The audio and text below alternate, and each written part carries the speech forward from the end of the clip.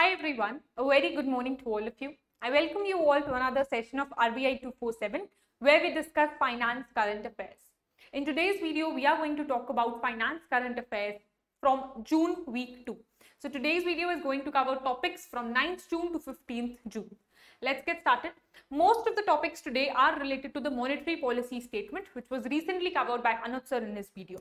So you can watch that video. Usme jo uh, the statement of development and regulatory policies, the RBI has brought out that statement. In that statement, RBI has mentioned certain guidelines and framework that it is going to bring out in the next couple of months. This is what RBI has done in the last one week. तीन ऐसी नई guidelines या framework आया है which is brought out by the RBI. We are going to understand that. Okay, along with that, SEBI की कुछ news है and inflation for the month of May. Let's start with the first news. Uh, this one is about RBI. RBI's directions towards call, notice, money market and instruments and interbank transactions. So what happens is in call and money market पहले तो ये call और money market instruments होते क्या हैं या money market transaction क्या inter bank transaction क्या होती है so when one bank is in need of when one bank is in need of overnight cash and they not go for repo operation या कुछ और यू नो कुछ और reason की वजह से they need immediate you know money और let say for a term period of fourteen days और even more than that then what happens is they can lend और you know borrow in case they want money they can borrow money in case they and by giving their securities in case they want to lend क्योंकि securities बहुत ज़्यादा है, पैसे चाहिए तो they can lend their securities ठीक है? So borrowing and lending होती है कॉल मनी मार्केट में। ठीक है? Call money notice money money market instruments में इंटर बैंक ट्रांजेक्शन होती है। Interbank transaction interbank borrowing and lending अब इनकी जो लिमिट होती है हु डिसाइड्स दिस लिमिट कि एक बैंक कितना बोरो या लेंड कर सकता है? What is the amount of borrowing that you can have specially from interbank liabilities interbank से आप कितना बोरो कर सकते हो? What is the limit? The limit was earlier decided by RBI but now uh, this limit is decide is going to be decided by scheduled banks this scheduled bank however excluding small finance banks तो small finance banks जो है इसमें से exclude करे गए हैं only scheduled commercial banks will be allowed to set their own borrowing limit when it comes to call and notice money market especially in the interbank transactions ठीक है now अब ये जून की एमपी स्टेटमेंट में RBI ने decide करा था monetary policy statement में all scheduled commercial banks excluding SF, SFB small finance banks can now set their own limit for borrowing in call and notice money market within their prudential limit for interbank liabilities as prescribed by RBI. तो RBI ने एक broader prudential limit दी हुई है. Under that limit, the borrowing limit for banks, you know, for themselves, they can be decided. अब ये कैसे decide होगी? एक board approved policy होगी, which will be followed by various banks. पहले तो कॉल नोटिस टर्म मनी क्या होता है? तो ओवरनाइट बेसिस पे जब पैसा चाहिए in that this is known as call money call money means मैंने कॉल करके आपसे पैसा मांग लिया समथिंग लाइक दैट तो इमीडिएट बेसिस पे या ओवरनाइट एक रात के लिए आपको चाहिए। So that is call money similarly notice money is when uh, it is borrowing or lending of unsecured funds for tenure up to 14 days. 14 days तक का, एक से 14 दिन तक के लिए अगर आप बोरोइंग एंड लेंडिंग कर रहे हो दैट इज़ नोटिस मनी ठीक है? Then there is term money when it is exceeding 14 days up to one year अब ये शॉर्ट टर्म ट्रांजेक्शन है अनसिक्योर्ड फंड्स है these are unsecured funds short term instruments है मनी मार्केट इंस्ट्रूमेंट्स है, इसमें आप बोरो लेंड कर सकते हो सिक्योरिटीज को, ठीक है? So let's say I have a government security I am bank A and I want certain cash but I have securities तो मैं अपनी सिक्योरिटीज को लेंड करके कैश ले सकता। ठीक है? और सेल करके, और लेंड करके। ठीक है? देन अब ये होता कैसे? How does this take place it takes place in N D S call negotiated dealing system आपने एनडीएस ओएम के बारे में सुना होगा negotiated dealing system order matching जिसमें ऑर्डर मैच करा जाता है from somebody who wants to lend and somebody who wants to borrow exchange trade exchange जब आप करते हो स्टॉक एक्सचेंज में आप सिक्योरिटीज खरीदते हो या बेचते हो व्हेन यू सेल और बाय दो securities that is also done through, you know, order matching mechanism. Somebody wants to sell certain securities and you want to buy certain securities. तो ऐसा ही है lending borrowing में. Negotiated dealing system. Call. NDS call इसका नाम है। It is a platform electronic trading platform electronic trading platform है। इस प्लेटफॉर्म पे बैंक्स बताते हैं this is the amount of money that I want मेरे पास सिक्योरिटीज है। I can you know against that securities मुझे पैसा चाहिए। Okay okay? या बोरो करना है, मुझे सिक्योरिटीज बोरो करनी है। Let's suppose somebody wants to buy borrow securities for SLR purpose तो एसएलआर मेंटेन करना होता है बैंक्स को। Banks have to maintain SLR however उनके पास इनफ सिक्योरिटी अगर नहीं है तो इमीडिएट बेसिस पे they need securities they have cash तो कैश देके बोरोइंग उन्होंने सिक्योरिटीज बोरो कर ली right so this is done through NDS this is an electronic platform एक प्लेटफॉर्म है जहाँ पे ये सारे बोरो लेंड कर रहे हैं इस प्लेटफॉर्म के through NDS negotiated dealing system called, it is an electronic trading platform. Electronic trading platform क्या होता है? Any electronic system other than a stock exchange अब दो चीज़ें होती हैं। एक होता है एक्सचेंज ट्रेडेड प्लेटफॉर्म जो एक्सचेंज होता है जहाँ पे you know whoever wants to sell और buy and in this case lend और borrow that takes place in a whole some you know, market or platform. तो एक प्लेटफॉर्म जो है वो एक्सचेंज ट्रेड प्लेटफॉर्म है। जैसे आपका सिक्योरिटीज मार्केट प्लेटफॉर्म है एनएससी स्टॉक एक्सचेंज ठीक है? तो एक वो प्लेटफॉर्म है where everybody who wants to buy security sell securities is a participant फिर आता है over the counter over the counter mean customise transaction है, ठीक है? एक्सचेंज ट्रेड में नहीं है कस्टमाइज हो रही है। वन ऑन वन ट्रांजेक्शन भी इसी में आती है। तो electronic trading platform is not a recognized stock exchange. Means other than a recognized stock exchange however it is an electronic system जहाँ पे eligible instruments की transaction हो रही है Similarly, over the counter market भी यही है over the counter market or OTC market it refers to market where transactions are undertaken in any manner other than exchanges exchange के अलावा जो मैकेनिज्म के थ्रू ट्रांजैक्शन हो रही है ऐसे किसी इलेक्ट्रॉनिक प्लेटफॉर्म पे हो रही है that is OTC okay okay and these include those who are you know etp etp that is elect uh, electronic trading platform तो जो NDS है it is an electronic trading platform OTC जो है एक मार्केट है and ETP इसमें आती है इलेक्ट्रॉनिक ट्रेडिंग प्लेटफॉर्म ओके इतना समझ लिया who are the entities which are eligible eligible for what eligible in the call uh, notice and money market instruments they can deal in those instrument borrow and lend so these are scheduled commercial banks excluding local area banks excluding local area bank. Payment bank sfb regional, rural, state cooperative, district cooperative banks, urban cooperative, ठीक है and primary dealers अब इसमें small finance banks है definitely but under these new direction small finance banks are excluded means these new directions what are they talking about they talking about schedule commercial banks that they can set their own borrowing limit how small finance banks cannot do that. ठीक है? तो इस guidelines में small finance banks are excluded. अब जो ये borrowing और lending हो रही है इंटरेस्ट रेट कौन डिटरमाइन करेगा? These interest rate the participants the eligible participants are free to decide on interest rate in their call notice money market instruments ठीक है? तो these are decided by the participants only जो market में mostly क्या होता है? जो market में इंटरेस्ट रेट चल रहा होता है that is the interest rate so they are free to decide the interest rate अब ट्रेडिंग वेन्यूज क्या होते हैं? ये I have already explain call notice money market transactions are executed on OTC market including NDS call जो अभी हमने पढ़ा है and other electronic trading platform this we have done now these are suppose to be authorised by the RBI एक बार RBI ने बोल दिया you are an electronic trading platform we give you the authorisation for such transactions so this is this forms a trading venue for such transactions अब देख लेते हैं what is the change scheduled commercial banks that is call notice term money internal board approved limits होनी चाहिए। Now they can set their own borrowing limit so this is internal अपने लिए खुद से कर रहे हैं। RBI is not doing that now, this is a board approved limit. The board will approve the limit. और जो broader prudential limits हैं, जो आरबीआई ने सेट करी हुई हैं, उसके अंदर ही the broader prudential limits that is set by the RBI इसके अंदर आप internally board approve provision you know borrowing limit लेके आएँगे। So this is for schedule commercial bank small finance bank का क्या है?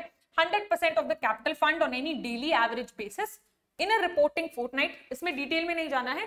And plus 125% of the capital funds in any given day capital funds हमने पढ़ा हुआ है, क्या होता है? Tier one tier two capital so 100% of the capital funds on any daily average basis on a reporting fortnight fortnight 14 दिन में 14 दिन से पहले जो भी डेली ट्रांजेक्शन हो रही है, उनका एवरेज निकालिए, उसका 100 percent and 125% of the capital fund उस दिन जो कैपिटल फंड है ऑन एनी गिवन डे उसका 125% ठीक है? नाउ टर्म मनी की बात आती है so for term money it is internal board limit approve limit within the prudential limits as decided by the RBI ये था कॉल मनी नोटिस मनी का, जिसके लिए ट्रांजैक्शन ये गाइडलाइंस आई है so these guidelines are for call and notice and terminal ठीक है? Okay then called this is for payment bank payment bank का क्या है? 100% percent of the capital fund on a daily average basis in reporting fort and one twenty of the capital fund on given day same है. Cooperative bank का क्या है? 2% of the aggregate deposit 2% of the aggregate deposit this is for cooperative bank ठीक है? At the end of the previous financial year 23 का financial year खत्म हुआ। इस financial year में जो भी average deposits रहे हैं, उनका 2% आप ट्रांजेक्शन इनमें कर सकते हैं। Call notice and term money transaction आप कर सकते हैं। Talking about primary dealers it is two twenty five percent of the net own fund यहाँ पे डिपॉजिट्स नहीं है, यहाँ पे कैपिटल फंड नहीं है। Here we are talking about net own fund which is the fund of the owner owner की कितनी फंड है? ठीक है शेयर कैपिटल वगैरह। Then Yes so this was about these guidelines these directions mainly इसमें आपको तीन चार चीजें याद रखनी है interest rate avenues sorry venue who are eligible for these, um, you know, uh, these transaction call term notice and term money transactions. Then where do these take place and what is the new guideline and who is it not applicable on small finance banks? Okay. So this was the first news. I hope सबको समझ आ गई है. Second one is about a framework. Framework for what? Framework for compromise settlement and technical write-off. This was also explained briefly by uh, Anup sir in his previous video. This is, was again in the monetary policy statement for the month of June अब होता क्या है see इसमें तीन चीज़ें हैं compromise settlement technical write off of stress asset तो हम तीन चीज़ें समझेंगे पहले तो कॉम्प्रोमाइज सेटलमेंट क्या होती है see we all know what are NPAs NPAs हमने बहुत बार पढ़ा हुआ है नॉन परफॉर्मिंग एसेट्स बैंक के ऐसे लोन जिनमें रीपेमेंट नहीं हो रही है for 90 days they are not coming back now these NPAs going forward इनको रिस्ट्रक्चर भी करा बैंक ने तब भी कुछ नहीं हो रहा. एनपीएस को स्ट्रेस एसेट बोला जा रहा है. Uh, अब इनमें अभी धीरे धीरे आगे जाके ये लॉस एसेट्स भी बन जाएँगे जिसमें रिकवरेबिलिटी बैंक को बिल्कुल ही नहीं दिख रही. So there comes a point where bank has to decide what do what does it have to do should it go for compromise settlement और टेक्निकल राइट ऑफ़ इसके लिए आरबीआई ने एक फ्रेमवर्क बनाया है। एक you uh, know you know, एक standard framework है। अभी तक banks they already do such procedure procedures of compromise settlement and technical write off but RBI given a broader framework अब कॉम्प्रोमाइज सेटलमेंट क्या होता है? टेक्निकल राइट ऑफ़ क्या होता है? See compromise settlement is when somebody who is borrowed money is unable to pay the money and banks finally decide ki hum aapka loan waive hi kar dete hain right? Let us suppose uh, there was a loan of 1 crore by XYZ there was a loan of 1 crore. He paid 50 lakh on this. Then बाकी 50 लाख में ये NP हो गया. Then restructuring हुई उस loan की. Let's say 25 lakh और आ गए. I hope it is visible let's say 25 lakh और आ गए after restructuring then after you know certain measures taken by banks बहुत मेहनत के बाद लेट्स से फिफ्टीन लाख और आ गए. 15 लाख और आ गए. Now 10 lakh are left which the is saying कि अब नहीं आ रहे हैं so banks are going to write these off fully write off कर देंगे और यू नो कॉम्प्रोमाइज सेटलमेंट कर देंगे कि हम आपको वेवर दे रहे हैं कि ठीक है सेटलमेंट हो गई और वेव ऑफ़ कर दिया या फिर लेट सपोज़ कभी कभी ये भी होता है so let say five lakh you had to return but you are not giving it so after a very you know long period of time banks decide कि इस फाइव लाख में से आप हमें टू पॉइंट फाइव लाख दे दीजिए ठीक है सो ये कॉम्प्रोमाइज सेटलमेंट हो गई दिस इज़ अ सेटलमेंट ठीक है this is a settlement okay Uh, so, as announced in the month of June, monetary policy statement. अब क्या होता है RBI has issued a comprehensive regulatory framework governing the compromise settlements and technical write-off covering all regulated entities. इसमें सारी regulated entities की बात हो रही है NBFCs, banks और जो भी regulated entity जो जिनके stressed assets है. This will provide further stimulus to the resolution of stressed asset in the system as well as harmonize and rationalize the institutional, uh, sorry, instructions related to compromise settlements. ठीक है okay compromise settlement क्या होता है this I already explain to you compromise settlement जब banks decide uh, करते हैं कि fully waiver दे देंगे वो they will give fully waiver when the amount is unrecoverable okay and इसमें एक और चीज़ आती है रीस्ट्रक्चरिंग सो so, जब फुल्ली वेवर दे दिया व्हेन फुल वेवर दे दिया of the amount full waiver कि ओके okay, जितना भी लोन बैलेंस है हम आपको फुल वेवर दे रहे हैं. So that is compromise that is compromise settlement अब एक आता है रीस्ट्रक्चरिंग रीस्ट्रक्चरिंग क्या होता है? जब बैंक पार्शियल वेवर देते हैं partial waiver so let's say bank says कि you had to give me two thousand rupees और twenty lakh rupees twenty lakh rupees देने थे. Okay do one thing do not pay twenty lakh you can not pay just give us ten lakh तो ये क्या हो गया? Partial settlement हो गई। पार्शियल सेटलमेंट हो गई।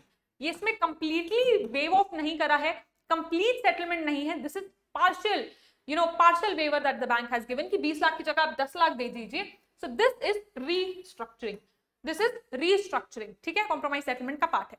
फिर आता है what are technical write off what are technical write off this refers to cases जब एनपीएस क्या होते हैं? Banks decide that these NPAs will be written off from our books of account बहुत बच्चों का ये डाउट आता है what is written off see written off is an accounting term जिसमें हम अपनी बुक्स ऑफ़ अकाउंट से जब हम अकाउंट्स मेंटेन करते हैं by the way accounts is in your syllabus now so ये uh, है दिस एवरीबडी शुड नो जब हम अपनी बुक्स ऑफ़ अकाउंट से एसेट्स जो है जो कि लोन है बैंक का वो हम राइट ऑफ़ कर देते हैं ठीक है? Let's suppose A B C तीन लोगों के लोन्स थे ten lakh twenty lakh five lakh and let's suppose इनमें से दो ने लोन नहीं दिए एंड वी डिसाइड कि हम लोन वापस लेंगे बट अभी हमने अपनी बुक से राइट ऑफ़ कर दिए so we have written it off from our books of account so we have decided to write it off from the books of account we have decided to write off from the books of account however a waiver is not given a compromise settlement is not taken place हमने सिर्फ़ अपनी books of accounts में रखा books of account से हटाया है we are going to try to recover the loan तो या तो सिक्योरिटाइजेशन कराएँगे और किसी को, किसी थर्ड पार्टी को बेच देंगे ए आर सी को, और we will do anything but we have just written it off from our books okay so but are where the an remain outstanding at the borrower's loan account they remain outstanding means we still have to buy it but we still want repayment on that but they are written off इधर fully और partially by the RE only for accounting purpose सिर्फ़ accounting purpose के लिए करा जा रहा है without involving any waiver of claims against the borrower I hope इतना समझ आ गया होगा। देन ये जो गाइडलाइंस आई हैं, who are these applicable on these guidelines are applicable on schedule commercial banks schedule commercial banks including okay schedule commercial banks including small finance bank local area bank regional rural bank primary urban cooperative bank state cooperative bank central cooperative bank AIFIs, all India financial institutions, and NBFCs. याद करो जब हम बात कर रहे थे we were talking about the introduction we discuss that these are applicable for all are is all regulated entities however इसमें एक चीज़ मिसिंग है. Who are these banks these are payment banks तो पेमेंट बैंक्स यहाँ पे missing है. ठीक है? ठीक है. Yes okay now let us talk about stressed assets क्या होते हैं? We all know what are stressed asset एक होता है स्टैंडर्ड एसेट जिसमें रीपेमेंट हमको आ रही है फिर वो डाउटफुल बनता है. Then it becomes a stress asset इसमें S M A zero one two भी इससे पहले होते हैं. S M A zero one two में क्या होता है? S M A zero S M A one S M A two ठीक है? जब सिक्सटी uh, वन से नाइनटी डे तक कोई इंटरेस्ट नहीं आया है प्रिंसिपल नहीं आया ठीक है? When thirty two sixty days तक, कोई I think thirty thirty one two sixty days तक there is no repayment that is S M A one account and S M A zero account S M mean special mention mean zero से thirty days तक, ठीक है? So ये इसमें तो they are these are standard assets जिनमें हमें पैसा मिल रहा है okay special mention account S M A zero से पहले की बात कर रही हूँ ओके देन स्ट्रेस्ड एसेट ये already I have explain this to you a couple of times before as well stressed asset क्या होता है? इसमें तीन चीज़ें आती हैं। There three things NPAs where in the principal and interest is not receive for more than 90 days restructured loans restructured loans जिनमें asset को हम रीस्ट्रक्चर कर रहे हैं we are providing any leeway अभी हमने पढ़ा है रीस्ट्रक्चर लोन क्या होता है? So restructure loan is when uh, you know when we are changing the you know terms and conditions of the loan. When we are changing the terms and conditions of the restructuring given ना? Let's say longer duration दे दी repayment के लिए या partial withdraw partial हमने waiver दे दिया lower interest rate पे दे दिया बाय कन्वर्टिंग और या फिर इक्विटी में कन्वर्ट करवा लिया उनको। So certain things when we do when we restructure our loan when we restructure our asset उसके जो टर्म्स एंड कंडीशंस है उनमें कुछ चेंज करते हैं that is restructuring of loans then there is written off assets. Assets which are continuous as dues they are compens uh, compensated through some other way हमने अपनी book से right off कर लिए। So these are part of stress asset. अब इस framework में RBI ने क्या बोला है? Under this framework RBI says that there should be a board approved policy board decide करेगा कि किस बेसिस पे एक पॉलिसी लेके आएगा बोर्ड कि किस बेसिस पे आप यू नो सेटलमेंट कर रहे हैं कॉम्प्रोमाइज सेटलमेंट एंड किस बेसिस पे टेक्निकल राइट ऑफ़ कर रहे हैं। अब whatever is happening whatever you know whichever are uh, the compromise settlements that the banks are doing or technical write off that the banks is doing जितना भी हो रहा है जैसे भी हो रहा है board will oversee that as well board उसको ओवरसी भी करेगा. सो so, अब इसमें बहुत सारी चीज़ें आती हैं. How will how will the board oversee what is the number of accounts that you have you know जिसमें आपने कॉम्पनसेटरी सेटलमेंट दी है या राइट ऑफ़ कर दिया है टेक्निकल राइट ऑफ़ और क्या ट्रेंड चल रहा है? या उसको सब कैटेगराइज कर रहे हैं या नहीं? So these are something that board will have a you know oversight upon then a board approved policy होनी चाहिए all regulated entities are required to maintain और to put in place a board approved policy कुछ ऐसी चीज़ें हैं there are certain things which can be delegated ठीक है? uh, इस बोर्ड अप्रूव पॉलिसी के अंदर ही ऐसी कुछ चीज़ें आती हैं which any responsibilities which can be delegated तो एक होता है who is giving the approval for the loan और who is giving the approval for compensation ठीक है? तो एक एक एक ऑफिसर है एक अथॉरिटी है who is giving approval for case to case basis any proposal for compromise settlement ये इंपॉर्टेंट है any proposal for compromise settlement in respect of debtors ऐसे डेटर्स जो विलफुल डिफॉल्टर हैं, जो खुद ही बोल रहे हैं that I am defaulting right so which are classified as wilful defaulters और फ्रॉड ठीक है? They should require approval of the board in all cases ठीक है? Prudential treatment, in case of compromise settlement, where the time for payment, yes. अब uh, एक एक prudential treatment के अंदर क्या बात होती है case you are giving a waiver or if you are giving a doing a compromised settlement आप एक compromise settlement बोल रहे हो say a partial compromise settlement है where you say कि मेरे को ट्वेंटी फाइव लाख की जगह आप फिफ्टीन लाख दे दो so this is the settlement that the compromise that the bank is doing so this is a compromise on the part of the bank if this this leeway is given for more than three months if the agreed settlement amount exceeds three months the time for payment uh, is uh, uh, you know exceeds for three months such exposures are to be treated as restructuring usko restructuring bolenge restructuring kya hota hai um, an act in which the lender for economic or legal reasons relating to the borrower's financial difficulties when the lender actually understands ki ha कोई problem चल रही है या okay we understand that this situation is going on we are going to restructure your loan in that case it they the borrower grants concession sorry the loan uh, the bank which is lending so regulated entity they grant certain condition, concessions to the borrower which involves modification of the terms of advances. उनके terms में let's say lower interest देना है या longer duration दे दी आपको okay certain restructuring होती है। अब जो ये मैंने ऑलरेडी बताया है oversight will be done by the board किस चीज़ की ओवरसाइट क्या ट्रेंड फॉलो कर रहा है हमारा bank what is the trend they are following when it comes to the number of accounts which are you know written off और let's say जिनमें कॉम्प्रोमाइज सेटलमेंट हुआ है? So what is the trend you are following then again separate breakup of account ये भी इसमें आ जाता है। इसमें क्या आएगा? कौन कौन से अकाउंट फ्रॉड है? किस किस को हम रेड फ्लैग बोल रहे हैं? किस किस को हम विलफुल डिफॉल्टर बोल रहे हैं? या क्विक मोर्टालिटी अकाउंट्स सो ऐसे आप कैटेगराइज करेंगे। This will also be over you know oversight will be done by the board then in banks को ग्रुपिंग भी करनी होती है। Grouping of such accounts on the basis of amount wise जितने भी अकाउंट्स को आपने यू नो वेव ऑफ़ करा है या कॉम्प्रोमाइज सेटलमेंट करी है अमाउंट वाइज ग्रुप करो सैंक्शनिंग अथॉरिटी वाइज किस, किसने अथॉरिटी दी थी इनकी। उसके अलावा बिज़नेस सेगमेंट वाइज कहाँ कहाँ से पैसा आया है एग्रीकल्चर सेक्टर का है या बिज़नेस सेक्टर का है।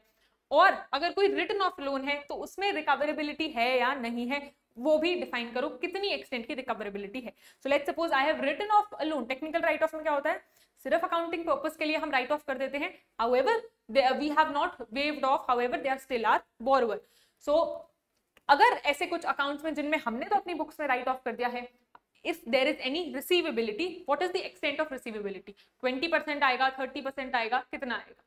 So this was about the framework for compromise settlements and technical write offs let us talk about the third news i hope इतना सबको समझ आ गया होगा compromise settlement क्या होता है technical write off क्या होता है who is these guys who are all you know all these guidelines applicable on उसके अलावा बोर्ड uh, पॉलिसी आनी चाहिए what are these prudential treatment ये सब आपको पता होना चाहिए Then the next news is about, again, monetary policy statement में this was discussed that RBI will bring guidelines, guidelines on what? Guidelines on default loan agreement, or oh, sorry, guarantee, default loan guarantee on digital lending. Digital lending के बारे में I have already explained in a video digital lending क्या होती है नाम से ही पता लग रहा है when lending is done by any regulated entity through various digital mechanism एक ऐप के थ्रू या एक लेंडिंग सर्विस प्रोवाइडर के थ्रू या ऐसा कोई you know there is an app और fintech company which is lending on behalf of a regulated entity okay let suppose Cred है. If it is lending on behalf of any bank or any NBFC or any other regulated entity, then this will be a LSP lending service provider. And यहाँ पे बात क्या हो रही है? And इस process को बोला जाएगा डिजिटल लेंडिंग इसमें बहुत सारी गाइडलाइंस थी we had already discuss that NPA कौन मेंटेन करता है अगर लोन रीपेमेंट ना हो? और क्या क्या इन्फॉर्मेशन एल जो है, जो थर्ड पार्टी है या जो एजेंट है? So I will explain let suppose I am a borrower I need loan I need money instead of going to a regulated entity there is an app और third party L S P lending service provider which is an agent of the regulated entity and this is providing me a loan ठीक है? This is digital lending का process एक app है या कोई service provider है या कोई लेट्स फिनटेक कंपनी है this is a lending service provider and agent which is giving me the loan let's say 10 lakh का मुझे लोन लेना ठीक है? So I go through this you know fintech company अब इसमें बहुत सारे गाइडलाइंस हैं जो कि पहले आई थी। लेट्स यू नो विच वो covering various things for example जो केवाईसी नॉर्म्स होंगे वो कौन करेगा? या ये जो एलएसपी है, ये कितना डेटा रख सकता है इनका? या ये इनको हरास कर सकता है या नहीं? या ये एलएसपी की रिस्पॉन्सिबिलिटीज क्या है या नहीं? ठीक है? So which are the activities that can be outsource to this lending service provider activities by the R R की जो लोन में जितनी भी you know from start of the loan initiation of the loan till recovery of the loan various activities are involved. KYC is one of them. So, which are the activities which can be outsourced? ये सब digital lending guidelines में हमने पहले पढ़ी हुई है। Digital lending का concept समझ आ गया? अब what is this default loan agreement या default loan guarantee so what happens is in case the borrower does not pay let's suppose I I borrow 10 lakh and if I am unable to pay who will take guarantee एक या तो insurance या guarantee बोल लो कोई guarantee तो लेगा this guarantee will be taken by the digital lending guarantee provider हम इसको बोल रहे हैं या एलएसपी हम इसको बोल रहे हैं लेंडिंग सर्विस प्रोवाइडर एलएसपी ठीक है नाउ uh, ये who are these guidelines applicable on these guidelines are applicable on all commercial banks including small finance banks primary urban cooperative bank state cooperative bank and nbfcs which also include housing finance companies which also include housing finance company ठीक है Then digital lending क्या होता है? I have already explained. It is a remote and automated lending process by use of digital technologies for customer acquisition, credit assessment. अब ये सारे these are all the processes involved in the loan. Customer acquisition, credit assessment, creditor की भी assessment होती है. Uh, the assessment of the borrower is also taking place. So customer acquisition, credit assessment, loan approval, disbursement, recovery, associated customer service, services जो कि बीच में मिलती हैं. So all these this is the entire process of loan जिसमें इतने सारे steps हैं या इतना सारा पूरा प्रोसेस है in the entire process of lending so जब डिजिटल लेंडिंग क्या होता है? Using digital technology using digital technology customer को आप लेंड कर रहे हैं दैट इज़ डिजिटल लेंडिंग जिसमें ये सारी एक्टिविटीज़ आती हैं। Then what is the default loss guarantee इसको फ़र्स्ट लॉस गारंटी भी बोला जाता है first loss default guarantee it is a credit risk sharing agreement. In case the, you know, the borrower default, who will share the risk? Risk sharing agreement credit risk आपको सब लोगों को पता है in case the counterparty or the borrower in this case if they default उसको हम बोलते हैं क्रेडिट रिस्क अब ये रिस्क जो है ये किस बेसिस पे शेयर हो रहा है between the regulated entity let's say कोई बैंक है या कोई एनबीएफसी uh, है so that is the regulated entity and the L sorry DLG provider digital lending guarantee provider wherein the DLG provider guarantees to compensate the RE अभी मैंने बताया जो third party है this guarantees to compensate the RE the loss loss due to default up to a certain percentage of the loan portfolio of the REs up to a certain percentage तो अगर 10 लाख का loan है ऐसा नहीं है कि मैं गारंटी दूँगी 10 लाख के लोन की let's suppose if I am an uh, you know DLGP digital lending guarantee provider or LSP So if I am uh, an LSP, it does not mean कि मैं पूरे 10 लाख की गारंटी दूँगी up to a certain limit. ठीक है ये पूरा process I hope आपको समझ आ गया है what is digital lending and then what is digital lending guarantee sorry default loss guarantee So here DLG provider is the default loss guarantee provider, not digital lending guarantee, default loss guarantee. DLG provider जो guarantee provide कर रहा है only lending service provider ये मैं already explain कर चुकी हूँ LSP या कोई और रेगुलेटेड एंटिटी या कोई और रेगुलेटेड एंटिटी जो किसी ऐसे अग्रीमेंट में आ रही है आउटसोर्सिंग अग्रीमेंट में या एलएसपी अग्रीमेंट में आ रही है तो या तो वो लेंडिंग सर्विस प्रोवाइडर है they are themselves lending service provider या फिर they are a regulated entity जो किसी अग्रीमेंट में आ रही है they can become a guarantee provider Lending service provider, we have already discussed. They are an agent of an RE who carries out one or more of the lender's functions. तो ये agent है जो कि lender के बहुत सारे functions perform करता है, जैसे customer acquisition credit assessment KYC recovery बहुत सारे प्रोसेसेस ये फॉलो करता है। डॉक्यूमेंटेशन मॉनिटरिंग ठीक है प्राइसिंग सपोर्ट और भी customer services then any LSP providing DLG must be incorporated as a company ये हम सबको ऑलरेडी पता है।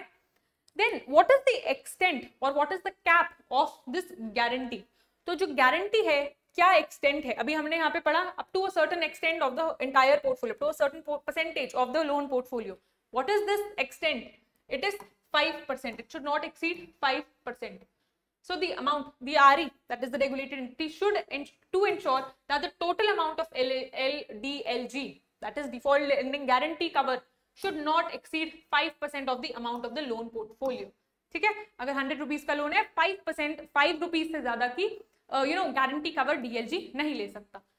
फिर किस किस फॉर्म में गारंटी देते हैं? या तो कैश डिपॉजिट करा दो आरई के साथ। So let suppose hundred rupee का लोन है।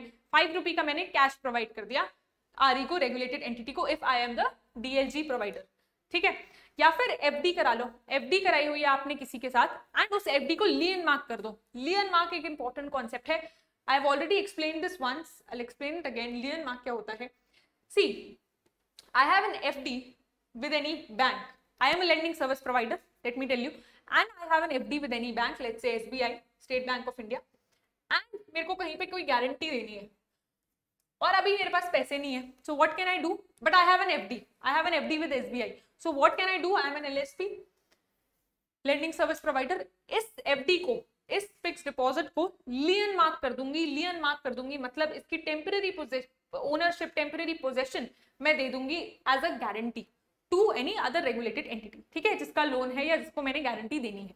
आई होप इतना समझ आ गया? या तो कैश डिपॉजिट करा लो with the RE this will form part of the guarantee दूसरा क्या है? एफडी अगर आपने कोई कराई हुई if you have an FD with any schedule commercial bank with any schedule commercial bank this can be lien mark lien mark मतलब इसकी मैं यू uh, नो एक uh, इसकी मैं पोजेशन या इसकी टेम्पररी ओनरशिप किसी और को पास कर दूँगी as a guarantee as a guarantee lien mark हमने तब पढ़ा था when we were studying about loan taken on FD तो एफडी किसी के पास होती है, उस पर आप लोन भी ले सकते हो। लोन भी ले सकते हो। इसका मतलब आप एफडी को लियन मार्क कर सकते हो। लोन पे क्या होता है? लियन मार्क का आप करते हो। ठीक है? Okay then bank guarantee in favour of R bank guarantee FD cash deposit इन तीन तरीके से आप गारंटी दे सकते हैं। That is the LSP then then what is the period? What when can the uh, guarantee be invoked then the RE that is the regulated entity can invoke the guarantee within a maximum overdue period of 120 days within a maximum overdue period of 120 days unless made good by the borrower अगर borrower खुद ही पे कर दे 120 तक तो ठीक है otherwise 120 के बाद ये जो गारंटी थी ये इन्वोक हो जाएगी ओके देन डिस्क्लोजर रिक्वायरमेंट्स जो लेंडिंग सर्विस प्रोवाइडर हैं जो गारंटी दे रहे हैं दे सबसे पहले तो आर को इंश्योर करना है कि जो लेंडिंग सर्विस प्रोवाइडर हैं दे आर एक्चुअली पब्लिशिंग कि उन्होंने कितनी गारंटी दी हुई है। They have to disclose them on their website ठीक है? Then recognition of NPA irrespective of the अच्छा नाउ द पॉइंट कम्स कि अगर एनपीए हो गया in case there is npa 90 days तक is no repayment then who will take care? Who uh, you know ये npa कौन disclose करेगा अपनी books of account में? This will be done by the regulated entity इसमें dlg का role नहीं है। तो the responsibility the responsibility to recognize and make provision अब एनपीए अगर हो रहा है one makes a provision one makes a provision banks को प्रोविज़न मेंटेन करना पड़ता है on various NPAs now these provisions will be maintained by the regulated entity and not by the guarantee provider ठीक है ये responsibility uh, एंटिटी की है then the tenor जो टेनोर है, इस गारंटी का कितना टेनोर है, ये उतना ही टेनोर होना चाहिए जितना का लोन पोर्टफोलियो का टेनोर है, ठीक है? अगर टू ईयर का लोन है तो टू ईयर की गारंटी आप मतलब दो ईयर तक मैं गारंटी इन्वोक कर सकता हूँ if I am a regulated entity ठीक है? उससे कम का नहीं होना चाहिए। This was about the guidelines for default loss guarantee इसमें आपको समझना है what is digital lending what is default loss guarantee an LSP और ये जो भी इसके प्रोविज़न है, ठीक है? Then the next one is about extension of timeline for achievement of PSL targets of UCBs. ये भी this was also there in the recent monetary policy statement. Give me a moment, sir.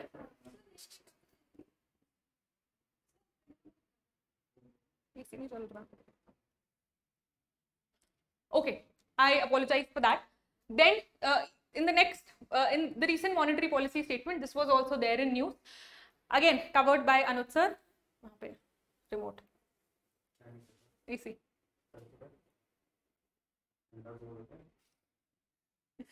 Okay, this was about UCBs. जो guidelines है UCBs की towards PSL that is priority sector lending this was already in news बहुत पहले. Very recently we discussed that UCBs urban cooperative banks they will be now into four tier structure into four tier structure and हो सकता है for one UCB to come from one tier to any other tier they need time जिसके लिए RBI has already given them a timeline किस time तक आपको इतने deposits maintain करने हैं? That you can transfer from one tier to another. We have discussed this a lot of times in our RBI 247 sessions especially this uh, UCBs का जो deposit के basis पे टीयर फोर टियर स्ट्रक्चर है. Now this guideline is about PSL अब RBI कह रहा है कि पीएसएल में we are going to give you certain leeway तो आपको एक तो डिलेड टाइमलाइन एक ग्लाइडिंग पाथ दिया गया है। पीएसएल मेंटेन करना होता है। अर्बन कोऑपरेटिव बैंक्स को 75 परसेंट का we all know that so एक ग्लाइडिंग पाथ दिया हुआ है। एक साथ आपको 75 परसेंटेज नहीं मेंटेन करना। There is a gliding path for you this gliding path is mention by the RBI okay so this is the new news the RBI has decided to extend the gliding path for primary urban cooperative banks for primary urban cooperative banks other than salary earners banks इसमें salary earner banks excluded है salary earner UCBs urban cooperative banks तो ये क्या होता है?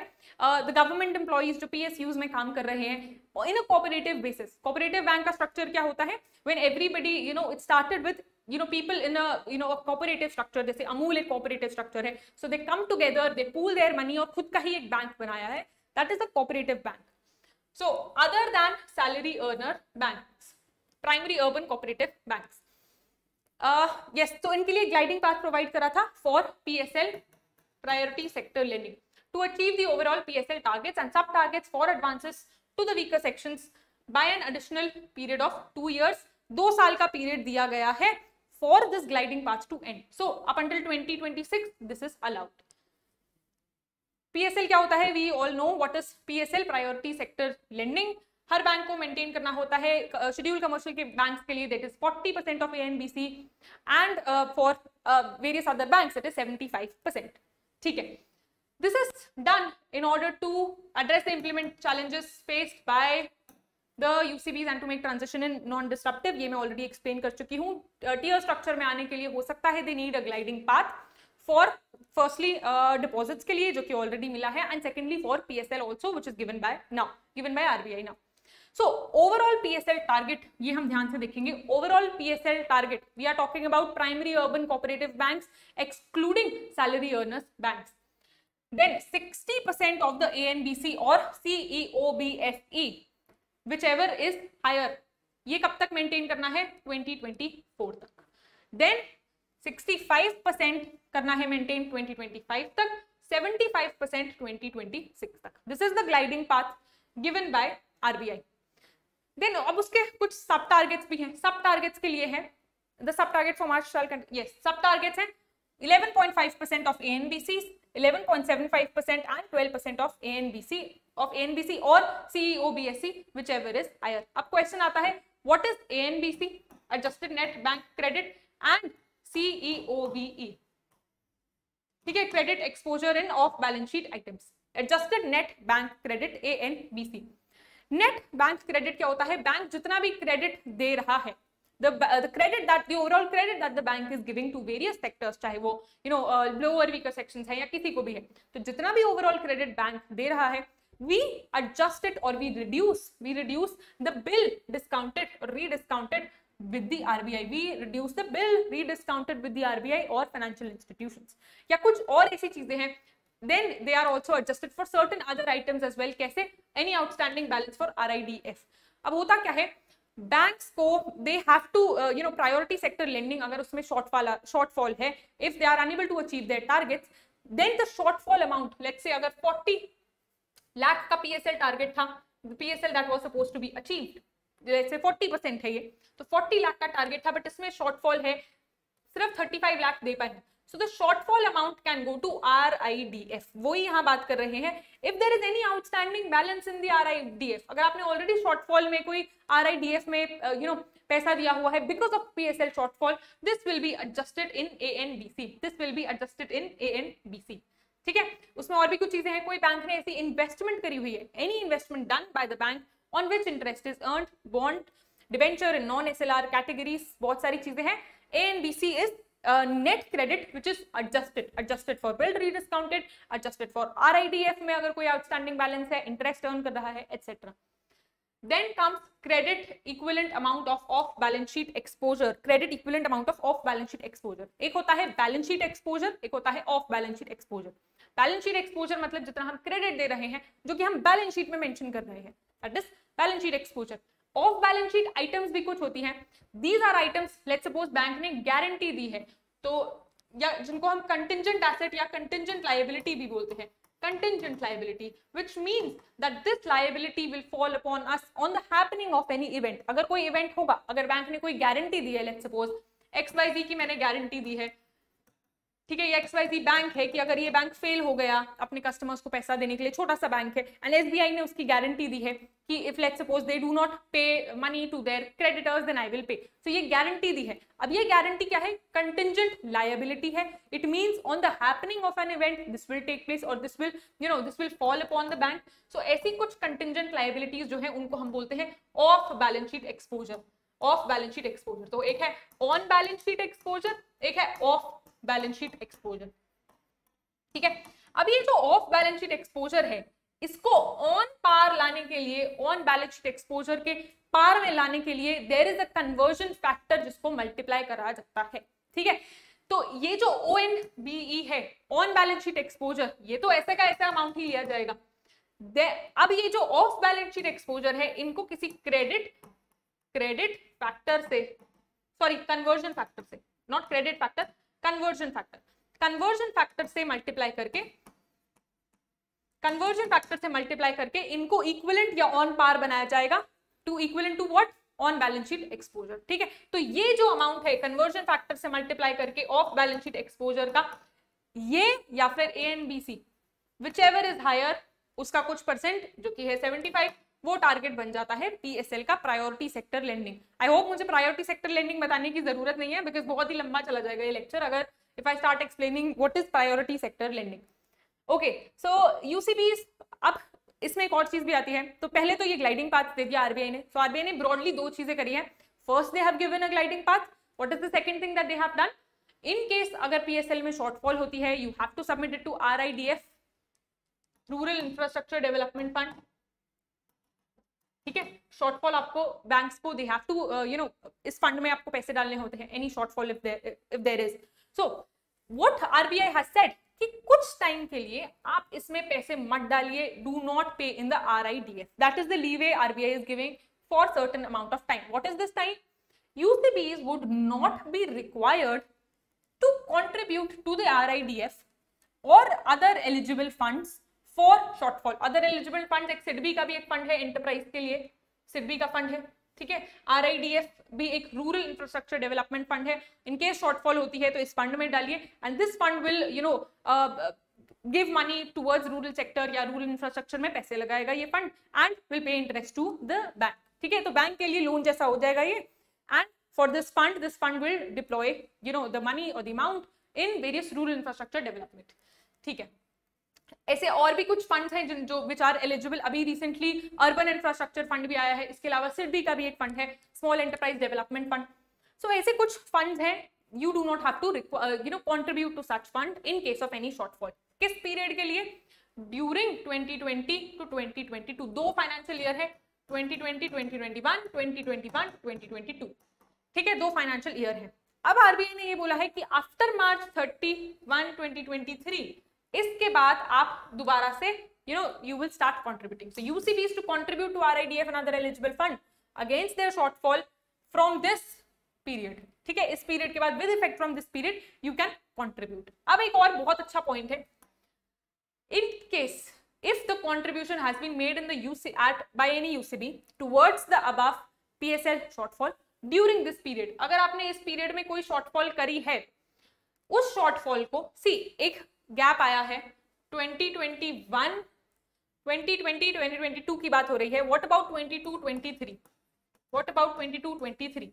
RBI is saying that in case you have already made any payment already made any payment toward this fund contributed to this fund then जो एक्स जो अगर आपने उसके लिए कॉन्ट्रीब्यूशन ऑलरेडी कर दी है it will be use to offset it will be use to offset any shortfall that is there in this financial year तो दो फाइनेंशियल ईयर के लिए आपको कंट्रीब्यूट नहीं करना है however if you have contributed this will be offset for the next financial year this will be offset for the next financial year this is what the RBI is saying बस यही है उसके ऊपर अगर तब भी कोई एक्सेस रह जाता है लेट सपोज़ आपको सिर्फ़ 10 लाख तक आपका शॉर्टफॉल है बट आपके अकाउंट में 15 लाख है 15 लाख आपने यहाँ पे दिए हुए हैं। सो so ये जो नेक्स्ट 5 लाख है ये आपको वापस मिल जाएगा। The excess deposit if any after setting off the PSL shortfall will be refunded I hope इतना समझ आ गया I will just quickly explain it again दो ईयर की आरबीआई ने छूट दी है। The leeway that is given by RBI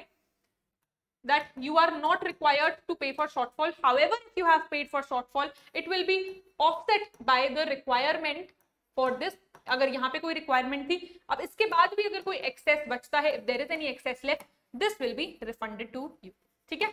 बस यही है दो चीज़ें। एक तो आर की आरबीआई ने you know leeway is given through R I F contribution R I D F contribution and then there is a gliding path towards towards what P S M ठीक है? Then this news is about SEBI SEBI पे आ जाते हैं। सेबी की दो तीन news है इंपॉर्टेंट ये कवर कर लेते हैं फटाफट। SEBI allowed mutual funds to invest in repo transactions Now, what are these repo transactions? We have already learned about these repo transactions. Hmm. I'm so sorry. Repo transactions kya hoti hai? See, repo is an agreement wherein a party decides to repurchase the security that they have sold. Okay? So let's suppose there are two parties, party 1, party 2. Party 1 decides that I'm going to sell this security i'm going to sell this security to you in a condition that i will buy back the security after certain amount of time तो मेरे पास security है but मेरे पास पैसे नहीं है I have security. I'm going to sell my security, collect cash. However, I make a promise that after let's say two days or four days, I will repurchase my security back. That is a repo agreement. Repurchase agreement. बस इसको यही बोला जाता है. Now, mutual funds uh, SEBI has allowed mutual funds to invest in various repo transaction ठीक है? ये बात है, हो रही है यहाँ पे। As such mutual fund will be permitted to participate only in A and above rated corporate debt securities A and above corporate debt securities ठीक है? एंड रिसेंटली ये तो हमने पढ़ी लिया SEBI allowed the mutual fund to invest in repo transaction in security such as commercial paper and certificate deposit commercial paper certificate deposit क्या होते हैं? We will understand that but mutual fund जो है they you know you know they can enter into such contracts repurchase transactions ठीक है? What are commercial papers commercial papers क्या होते हैं? These are nothing but a promissory note commercial का मतलब है something related to corporate something related to company commercial these are nothing but जो companies हैं, जो कॉर्पोरेट बोरवर्स हैं, या जो फाइनेंशियल इंस्टीट्यूशंस हैं they are giving you a promissory note कि हम कुछ टाइम पे आपको पैसा वापस कर देंगे। They are taking a temporary loan from you this is a commercial paper so they this is short term इसके क्या क्या फीचर्स हैं? शॉर्ट टर्म नेगोशिएबल नेगोशिएबल मतलब आप इसको ट्रेड कर सकते हैं। अनसिक्योर्ड डेट इंस्ट्रूमेंट है। डेट इंस्ट्रूमेंट है। मैंने आपसे टेम्पररी पैसा लिया। उसकी जगह मैंने आपको कमर्शियल पेपर इशू कर दिया which is nothing but just like a promissory note ठीक है? जो बिल ऑफ़ एक्सचेंज में हम एक प्रोमिसरी नोट पढ़ते हैं। प्रोमिसरी नोट एक ब्रॉड कॉन्सेप्ट है। इसमें बहुत सारी चीज़ें आती हैं। Commercial paper is a promissory note. What is the, the period? 5, 15 days to one year.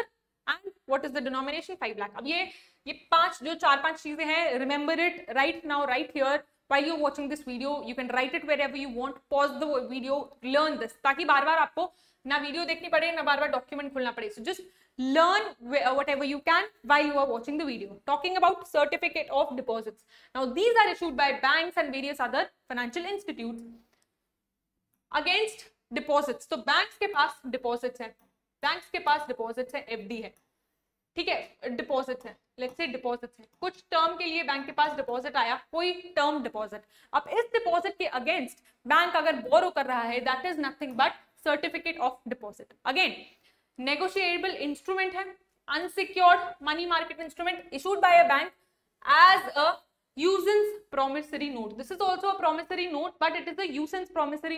क्या मतलब पीरियड कुछ टाइम पीरियड के बाद आपको पे करा जाएगा। Now which is what is this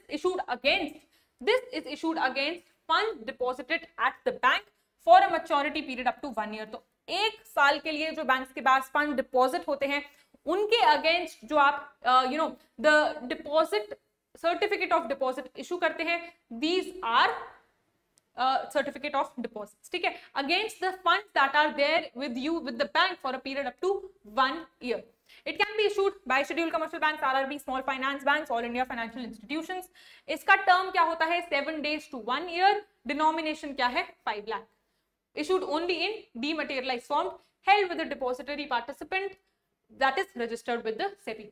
अब ये क्यों करा गया है? Why are they allowed? This is done in order to boost the growth of the corporate bond market और भी इंस्ट्रूमेंट्स द सेबी वांट्स की और भी instruments they should come into this structure अब ये एक रीपर्चेज अग्रीमेंट है और कॉर्पोरेट सिक्योरिटीज हैं अलग अलग था so RBI sorry the SEBI is wanting to merge these two kind of transactions और you know to expand the scope of repo transaction तो अब इसमें पार्टिसिपेंट को भी इंक्लूड कर दिया है which is mutual fund and then what is this the corporate securities are also included अब इससे एक और फ़ायदा होगा। The fund house, that is the mutual fund house, can keep their corporate bond as a collateral to avail short term loan. अब उन्होंने अगर कोई short term sorry short term security में इन्वेस्ट करा हुआ है they have collateral CD commercial deposits CP issue करा है these can be used as a collateral these can be used जो उनके पास या तो कोई बॉन्ड है या यू नो सीपीज है सीपीज है या सर्टिफिकेट ऑफ़ डिपॉजिट्स है then they can be used as a collateral to avail short-term loan. They can be used as a collateral to avail short-term loan. Up, this is about repurchase agreement. I have already explained to you what is a repurchase agreement. With a, with a condition ki hum kuch time pe we are going to buy them back. Okay. Then this again, ye dusra topic hai. This is about SEBI again. SEBI has decided, SEBI has issued a framework, framework for what? Framework for upstreaming of client fund upstreaming of client fund इसमें दो चीज़ें हैं client fund क्या होता है अपस्ट्रीमिंग क्या होता है और ये फ्रेमवर्क किसके लिए है तीन चीज़ें आपको याद करनी है these three things you have to remember so this framework is mostly for stock brokers and clearing members i hope you know what are stock brokers which are providing you various services for your investment अगर आप एक client है आपको investment करनी है I as a broker you know will provide you as third party or as a mediator I will provide you a connection towards the stock market कि आप stock market में यहाँ यहाँ यहाँ invest कर सकते हैं various uh, investment में आप invest कर सकते हैं if you are an investor ठीक है तो broker आपको various services provide करता है stock broker now this framework will come into effect from 1st July 2023 ये date important है why is this done to safeguard clients or investors funds in the security market अब ये है क्या पहले ये framework broadly समझ लेते हैं broadly So this framework talks about uh, stockbrokers and this talks about CCs that is uh, clearing corporations. Sorry, clearing members. So there are stockbrokers जिनके पास client के funds आते हैं. They get client के fund. These client के fund end of the day basis पे they have to move it forward या upstream जिसे बोला गया है upstream it to the clearing corporation clearing corporation को अपस्ट्रीम करना है, अपने पास कुछ पैसा नहीं रखना है. दिस इज़ द न्यूज़ अब इससे क्या होगा? द इन्वेस्टमेंट और the money that that belongs to the investor और the client this will be safeguarded तो स्टॉक ब्रोकर्स जो है you know there were a lot of allegation on various stock stock brokers so that is why this is one of the step taken by RBI to secure the transactions to secure the investment of the client ठीक है of the investor तो client का जो fund है uh, that uh, the client's fund or the client's money that should be upstreamed by the stockbroker or the clearing member towards the clearing corporation ठीक है clearing corporation का क्या होता है सेटलमेंट uh, करना ट्रांजैक्शंस को clear करना first they clear the transactions you know through various measures and then settlement करते हैं एंड में so this is the news no client fund no client fund to be to be retained by the stock broker ये हमने समझ लिया. And this is done on an end of the day basis तो towards the end जब trading खत्म हो जाती है एंड में if you have any money left या तो आप डाउन स्ट्रीम करेंगे मीन्स आप क्लाइंट फंड को क्लाइंट को वापस कर देंगे, और यू विल अपस्ट्रीम इट ये आप सीसी को that is the clearing corporation को आप दे देंगे. Instead clearing funds clearing funds are supposed to be uh, upstreamed means you cannot keep it and this line is talking about upstreaming so upstreaming to who upstreaming to clearing corporations now this can be done through three methods one is cash आप cash के through दे सकते हैं lien on fixed deposit receipt ये भी मैंने समझाया है if you have fixed deposit आप उसके through भी clearing corporation को पैसे दे सकते हैं या फिर pledge on units of mutual fund overnight schemes mutual fund overnight schemes क्या होती है? नाम से पता लग रहा है they are nothing but schemes which are there और maintained by the mutual funds और एन ओवरनाइट बेसिस तो इसमें लिक्विडिटी मिलती है म्यूचुअल फंड्स को म्यूचुअल फंड इन्वेस्टर्स को। This is mutual fund overnight schemes अगर ऐसी कोई स्कीम में इन्वेस्टमेंट है तो उसके जो सिक्योरिटीज है या उसके जो यूनिट्स है, आप उनको प्लेज कर सकते हो सीसीज को। तो इन थ्री फॉर्म्स में you have to upstream the client fund ठीक है? Also, other than FDR or MFOs, any remaining client fund with the uh, stockbroker or the clearing member is to be upstream to a CC before a stipulated cut-off time. ये हमने समझ लिया. What is FDR? Fixed deposit receipt. The fixed deposit receipt कुछ नहीं है. They it is just an uh, document है. बस एक document है which will act as proof कि मैंने यहाँ पे fixed deposit कराई हुई है. तो मेरे का अगर कोई investment है and there is a document it is just a receipt. उसको हम receipt बोलते हैं FDR या डॉक्यूमेंट कि मेरे पास there is a proof that I have made an investment in certain certain bank और I have deposit in a certain bank fix deposit receipt फिर आता है mutual fund overnight scheme these are these are avenues available to stock brokers to deploy the client fund agar hota kya hai these stock brokers are they, they are you know giving services to various clients at a time so a lot of times they give you a leeway कि okay okay, अगर अभी आपके पास पैसा नहीं है temporarily मुझसे borrow कर लो। Now let's suppose if I am a broker in that situation so if I am a broker and I am dealing with a lot of clients so I can give a leeway to certain client कि okay okay, अभी अगर आपके पास पैसा नहीं है borrow from me अब मेरे पास वो कैसा पैसा आया? प्रॉबेबली किसी और क्लाइंट का था। ठीक है? सो अब in case I do not have cash if I am broker I do not have cash तो या तो मैं एफडी प्लेज करा दूँगी सॉरी लीन मार्क करा दूँगी एंड सीसी को दे दूँगी या फिर MFOS, which is the mutual fund overnight scheme. So either I am going to give FDR के फॉर्म में फिक्स डिपॉजिट रिसीव को लियन मार्क करा के और म्यूचुअल फंड overnight scheme में if I have made any investment I am going to you know the unit of this investment I will be used as a using it as a pledge pledge ठीक है pledge करना क्या होता है किसी को temporarily उसकी ownership देना is pledge okay Lien refers to claim, legal claim or legal right which is made against the assets which are made against the assets that are held as collateral for satisfying a debt. तो अगर मैंने कोई FD कराई हुई है मेरे को कोई डेट रीपेमेंट करना है तो मैं उस एफडी को लियन मार्क कर दूँगी and I will give the temporary ownership you know a legal right to somebody else जिसको मैंने रीपेमेंट ऑफ़ डेट करनी है pledge is a formal promise और agreement that conveys possessory possessory title or properties of the property. Possessory title to the property. So, if i have a security and i can pledge it to you property में भी ये होता है, एक pledge होता है, एक pledgee होता है। You know so similarly if there is any property और securities I can pledge it to somebody else which means मैं आपको टेम्पररी पोजेशन दे रही हूँ उसकी। It is a promise okay okay अब ये कुछ yes so these are two three points that are given by SEBI की कैसे ये प्रोसेस होगा? सो so, इसमें पहली चीज़ क्या है? S B stock brokers stock brokers will create F D R fix deposit receipt हमने समझ लिया what is fix deposit receipt out of client funds only with those banks out of client funds only with those banks that satisfy the CC's exposure norms. तो if let's suppose I am a stock broker मेरे पास कुछ client के fund है मैंने उनकी FDR करा दी। अब FDR में कोई बैंक लगेगा? These banks will be those banks which satisfy the clearing corporation exposure. Norms kuch detail mein hai inke norms uh, SEBI has not mentioned. So the banks that are satisfying such norms mein uh, client ke jo funds I am going to uh, you know utilize those funds to get an FDR and with uh, with a bank where, will this fdr be? It will be with a bank which satisfied certain conditions. Then every fdr created out of client fund ye humne yahi pe samjha hai to be necessary lien mark to one of the CCs at all time उसको मैं all time lien mark करा के रखूँगी with one of the CCs ठीक है? Then the tenure of such F D R should not be more than one year सिर्फ़ एक साल का टेन्योर है and pre terminable on demand भी होना चाहिए। ठीक है? So these are certain conditions issued by sebi towards this broad framework. What is this broad framework talking about? Upstreaming of client funds. ठीक है NPCI introduction. This is the next step. NPCI introduces UPI plugin with RING. RING एक company है, digital lending platform है.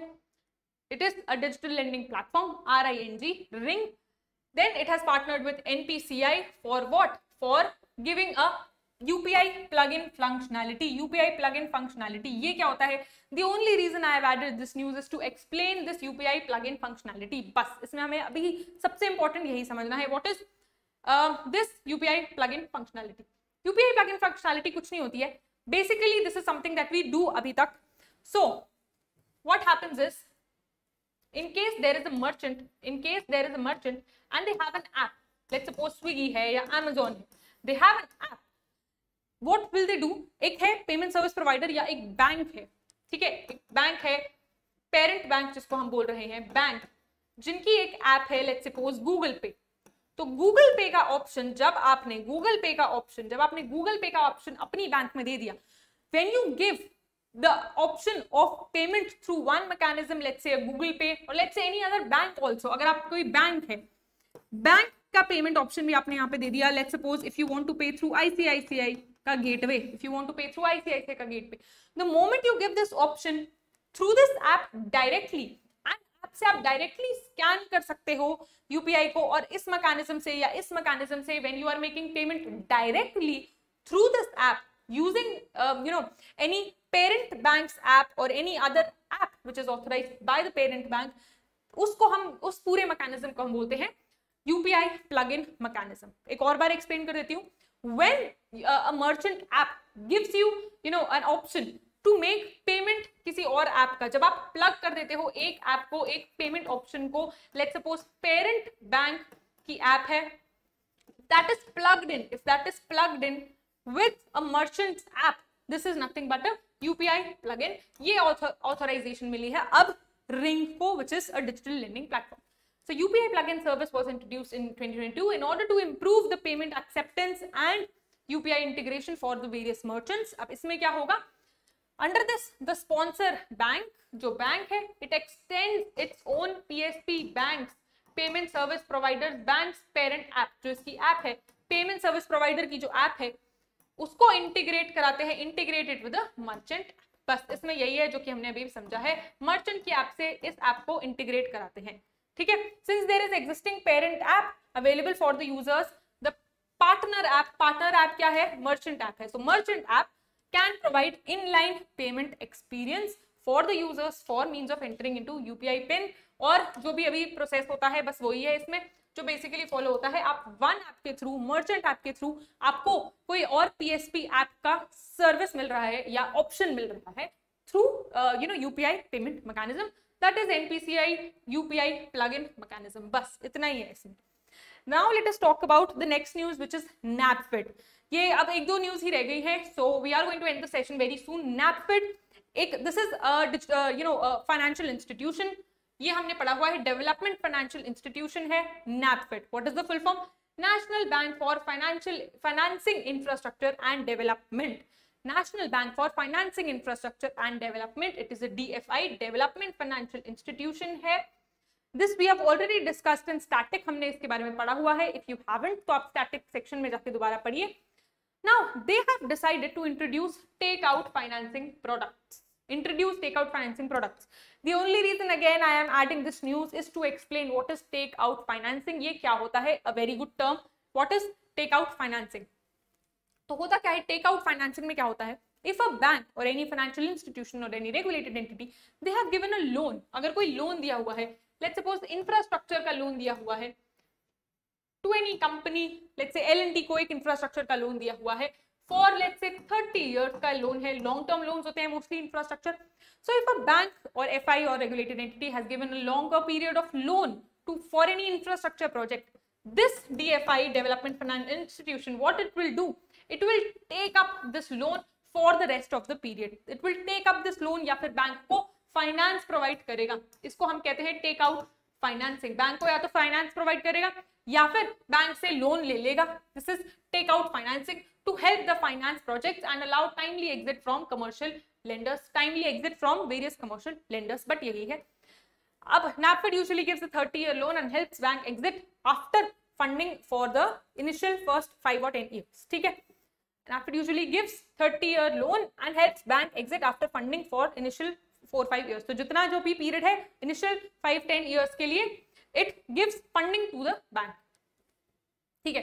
This information is about NaBFID important है. 2021 में आई थी. What is the capital authorised capital initial capital sorry initial capital was अरे initial capital was 20000 crore additional grant इसको government से मिला था.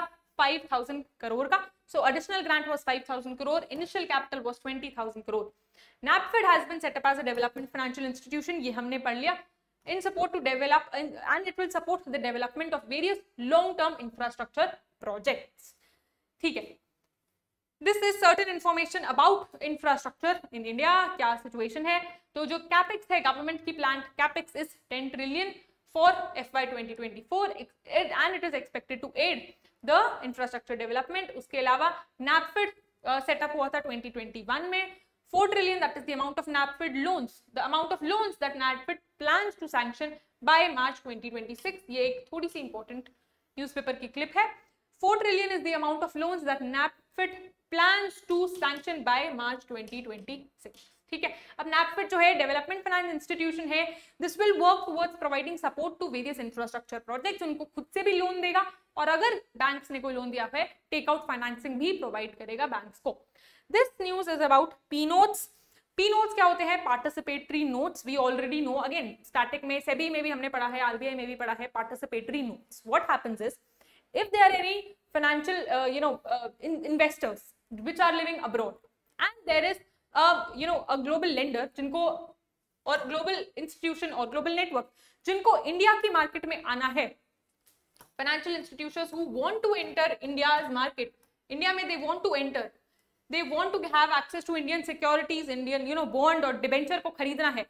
But they want to surpass SEBI regulation SEBI के वो सेबी में वो रजिस्टर नहीं करना चाहते as F I I institution foreign infrastructure foreign investment institution SEBI में रजिस्टर करना पड़ता है एफ़ को foreign investment institution now this when they want to surpass this restriction और regulation of F I I when they do not want to register with F I I they go through a concept of P note P note जिसमें एक global entity जो है a global entity which gives you an access it gives you an access to Indian securities ठीक है?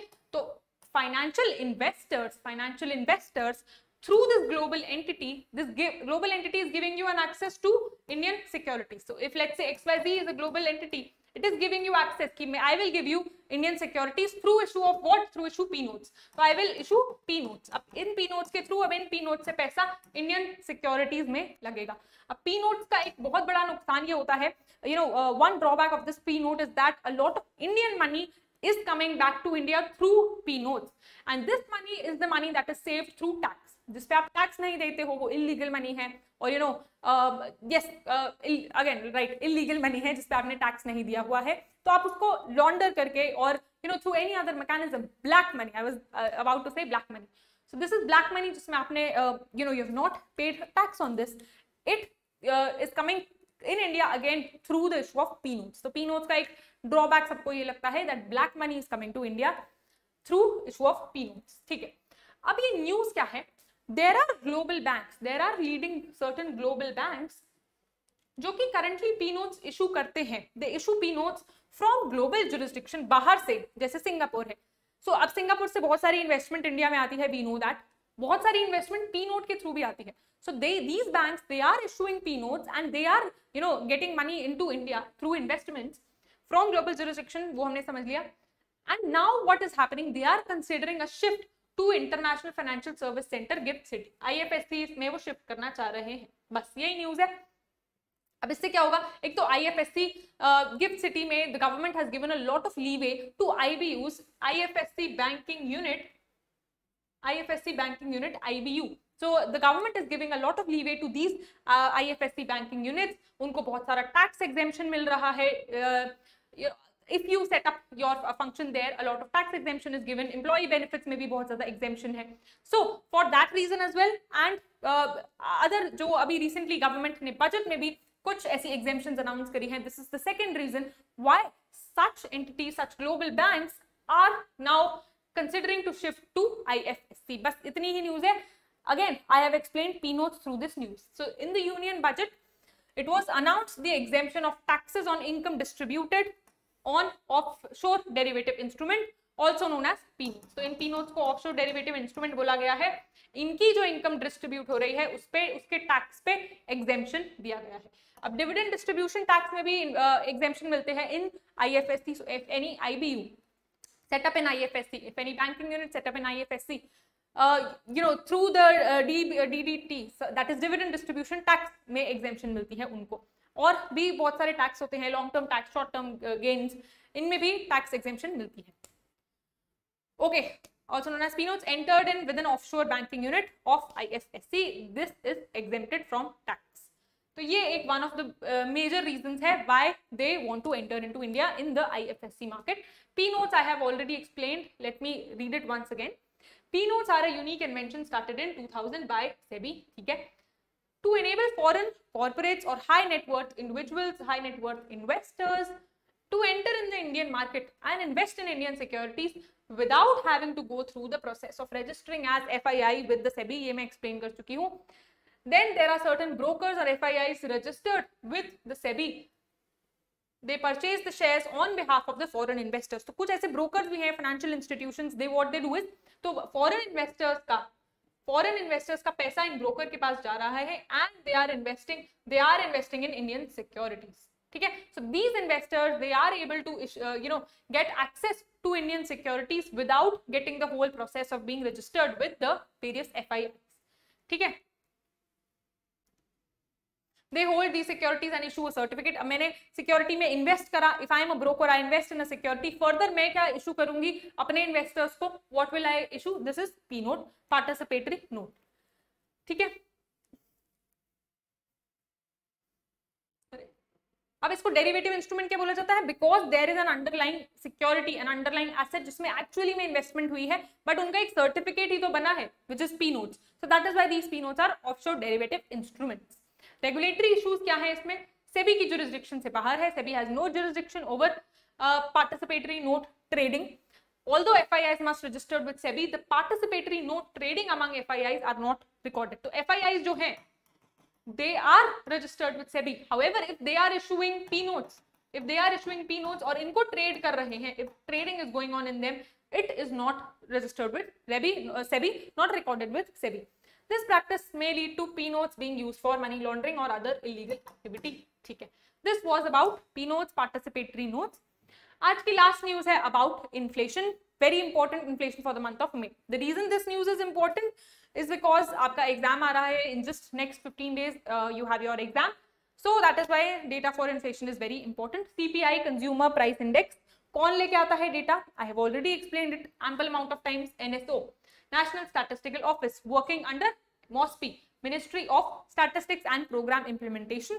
They come up with the Consumer Price Index. Consumer Price Index is an index which maps the inflation, the consumer inflation, retail inflation in the economy. Okay, so they map the retail inflation in the economy. What is the retail inflation? It is to a 25 month low. Of 4.5 तो ये अभी तक की सबसे कम है कब तक in last 25 months in last 25 months it is the lowest 4.25 in the month of May 2023 previous month में क्या थी 4.7 percent which was already less तो ये आई थिंक 12 और 11th मंथ लो थी 4.7 percent however the inflation level is still above the uh, central bank's upper tolerance band of 6% okay so this statement is wrong uh, the statement is wrong. I will delete the sentence. Okay. So this is the entire news. Okay so this is the entire the basic structure जो कि अभी inflation का है जो index आया है the inflation for the month of tabular form में represented है inflation is 4.25 percent for the month of May 2023 4.25 percent last time क्या था 4.70 in the month of April in the month of April it was 4.70 talking about CFPI food price index consumer food price index it is uh, it is कहाँ है 2.91 it is 2.91 consumer food price index I hope आपको core inflation की जब बात आती है you know what is core inflation when you exclude food inflation when you exclude um, food inflation and fuel inflation that is when you get core inflation core inflation ठीक है RBI क्या map करता है अपने लिए RBI maps this CPI inflation through which RBI targets or brings targets or policy changes in the monetary policy statement. Okay. Then food inflation which accounts nearly half of the overall CPI. Food inflation में 45.8 percent total CPI का around 45.8 percent which is around 46 percent is food inflation. CPI में बहुत सारे parameters होते हैं बहुत सारे know uh, various segments are given in CPI for example housing clothing pan tobacco miscellaneous जिसमें एजुकेशन आता है टूरिज़्म भी आता है. And one major is food food inflation food inflation food inflation जो है this is a major you know thing in the CPI इस ये कितना है? 2.91 परसेंट फ्रॉम 3.84 परसेंट जो कि प्रीवियस मंथ था.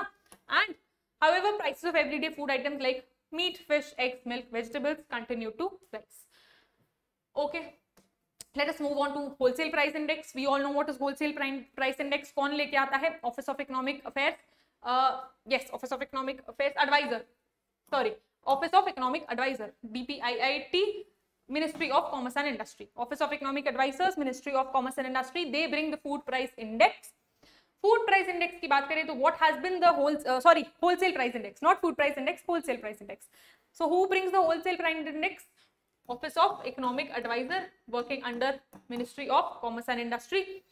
Then what is the WPI index for this month inflation? It is lowest again minus 3.48% last month भी minus में थी 0.92% last month थी इस बार उससे भी ज़्यादा dip हुआ है the uh, point uh, sorry negative 3.48 percent negative 3.48 percent that means the wholesale price index is actually falling the wholesale price index is in negative now जो index है वो गिर रहा है inflation जो है वो बहुत ज़्यादा कम हो रही है last time also it was in negative the decline or contraction in the primary is primarily contributed by fallen prices of various oils mineral oil basic metal food product textile ये ज़्यादा important नहीं है this data will not be coming in your exam कि किस किस की वजह से हुआ है however दिस इज इंपॉर्टेंट ठीक है बेसिकली आप ये याद रख सकते हैं what are the major contributors for this contraction who are the major contributors it is mineral oil basic metal food products textile non food products etc ठीक है this this brings us to the end of the session today let us continue with the questions now uh, consider the following statement and identify the correct statement borrowing and lending in unsecured funds borrowing and lending in unsecured fund on overnight basis is called as notice money overnight basis की बात हो रही है this is call money okay trade executed on electronic traded platform will form part of OTC market this is correct NDS call is also an OTC market. This is also correct. Two and three statement are correct. The first one is incorrect. Then, which of the following are eligible to participate as borrowers and lenders in the call notice money market? Primary dealers is correct. RRBs is correct. LABs is not correct. Small finance banks is correct.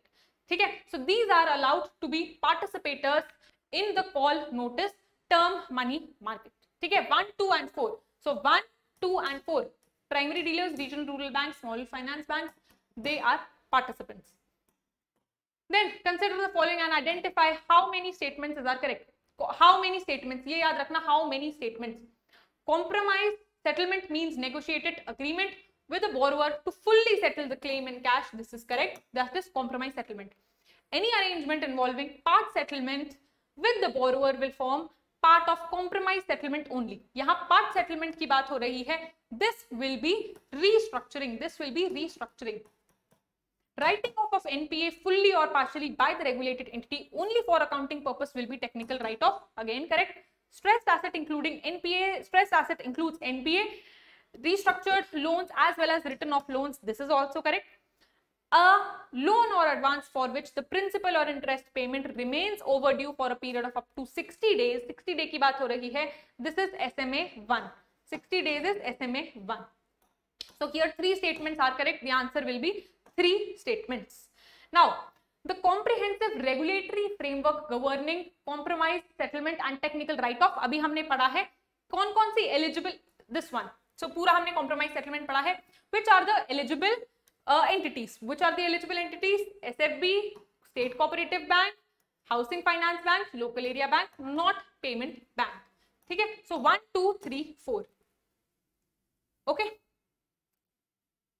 sorry payment bank is also included was the other one जिसमें payment bank नहीं था in this I think payment bank are also included yes this was for all regulated entities payment banks are also included this is all of the above in case of compromise settlement if the time period for payment of the agreed settlement exceeds three months इसको हम क्या बोलेंगे अभी मैंने समझाया है you will tell me the answer of this very easy question in case of default loss guarantee a credit risk sharing agreement is entered wherein the dash guarantees to compensate the dash कौन guarantee देता है किसको again you are going to answer this कौन किसको guarantee देता है as per the guidelines of default loss guarantee in digital lending the total amount of DLG DLG cover कितना DLG cover होगा of the amount of loan portfolio अगर मेरा 10 लाख का loan portfolio है क्या पूरा का पूरा 10 लाख से 100 लाख का लोन पोर्टफोलियो है क्या पूरा का पूरा 100 लाख का कवर मिलेगा नहीं ओनली 5 परसेंट ठीक है ओनली फाइव लाख तक का कवर देगा